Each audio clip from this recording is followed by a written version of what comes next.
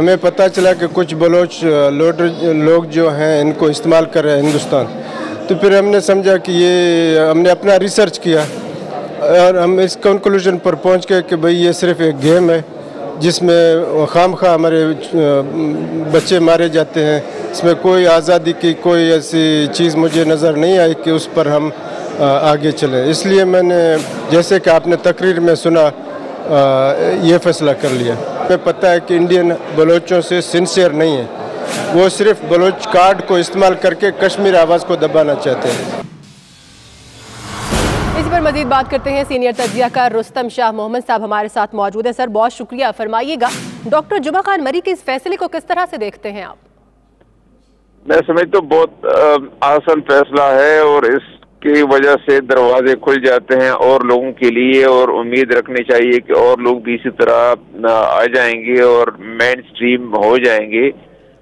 لیکن اس کے ساتھ ساتھ حکومت کی ذمہ واری بنتی ہے کہ وہ آگے جا کے اب بلوچ نیشنلسٹ سے، بلوچ لبریشن آرمی وغیرہ جتنے بھی ایسے آؤٹ فٹس ہیں، ان سے بات چیت شروع کی جائے۔ کیونکہ صرف یہ کہنا کہ ان لوگوں کو بھارت کی سرپرستی حاصل ہے اور ان کا پیسہ چل رہا ہے وہ تو جو ہوگا وہ ہے، اور ہو سکتا ہے اس میں حقیقت بھی ہو، لیکن اس سے ہمارے مسئلے تو حل نہیں ہوتے۔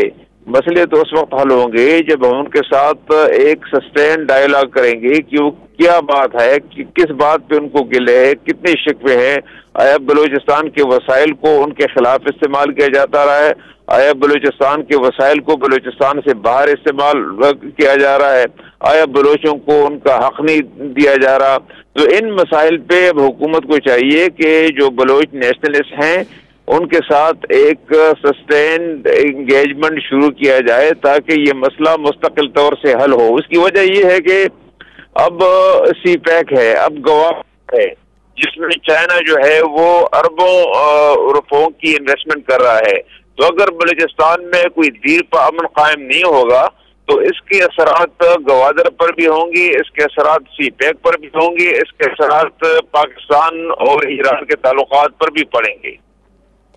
اچھا رستم شاہ صاحب ڈاکٹر جمعہ خان نے اوورسیز پاکستانی بلوچ کمیونٹی تنظیم بنانے کا بھی اعلان کیا ہے۔ کیا اس فیصلے کا خیر مقدم کرتے ہیں آپ اور کتنی اسٹرینتھ ملے گی اس سے بلوچ کمیونٹی کو؟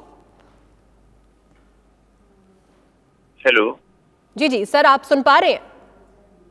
جی آپ کی جی سر فرمائیے گا کہ ڈاکٹر جمعہ خان نے اوورسیز پاکستانی بلوچ کمیونٹی تنظیم بنانے کا بھی اعلان کیا ہے۔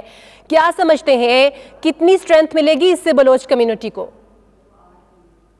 دیکھیے بلوچ تنظیمیں پاکستان سے باہر بھی فعال ہو گئی ہیں۔ جنیوا میں ہیں، امریکہ میں ہے لندن میں ہے فرانس میں ہے اور اگر آپ یہاں احلاب شروع کر لیں گے تو پھر ان تنظیموں کی جو اس وقت پاکستان کے خلاف کام کر رہے ہیں، ان کی حیثیت ختم ہو جائے گی۔ وہ خود بخود آپ کے اس میں آ جائیں گے۔ لہٰذا جو ہمیں اپنے گھر کو ٹھیک کرنا ہے اگر ہم اپنے گھر کو ٹھیک کر لیں گے تو باہر جتنی اینٹی پاکستان تنظیمیں ہیں ان پر اس کا اثر ہوگا۔ وہ تنظیمیں اس لیے بنی ہیں کہ بلوچ سمجھتے ہیں کہ ان کے ساتھ زیادتی ہو رہی ہے اور پاکستان میں ان کو ان کی حقوق نہیں دی جا رہے۔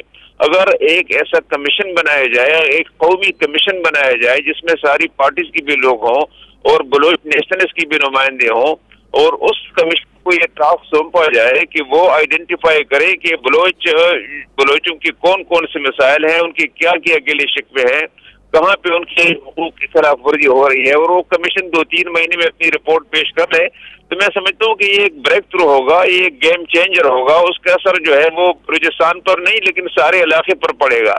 اور ان ریکمنڈیشن کو پھر پارلیمنٹ کے سامنے پیش کر کے ان کو اگر اپروو کیا جائے، تو یہ بات آگے بڑھ سکتی ہے اور یہ انسرجنسی ختم ہو سکتی ہے۔ صحیح ہے۔ مسائل کو آئیڈینٹیفائی کرنا پرائرٹی ہونی چاہیے۔ رستم شاہ محمد صاحب، آپ کا بہت شکریہ۔ اور اب کھیلوں کی خبریں؟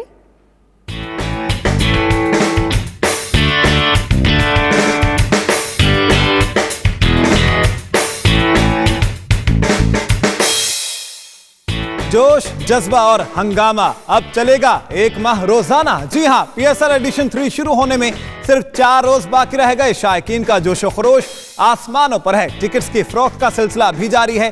کھلاڑی دبئی پہنچنا شروع ہو چکا۔